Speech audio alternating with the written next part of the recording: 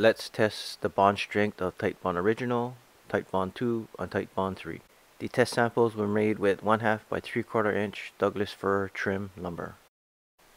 The Titebond Original wood glue was applied and clamped in 3 samples. The same was done for Titebond 2 Premium wood glue and marked with blue painter's tape. And Titebond 3 Ultimate wood glue marked with green painter's tape. All 9 samples were allowed to dry for 24 hours. First up was Titebond Original Wood Glue and impressed me with 315 pounds, 326 pounds, and 330 pounds.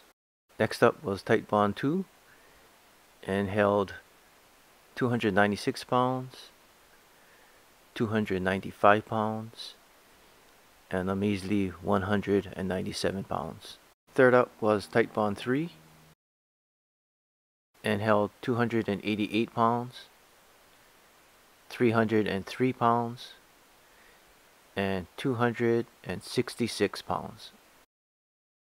As a side note, there was no wood tear out in any of the samples. Titebond Original did the best with a 324 pound average. Even after removing the low marks from all three, Titebond Original still came out on top.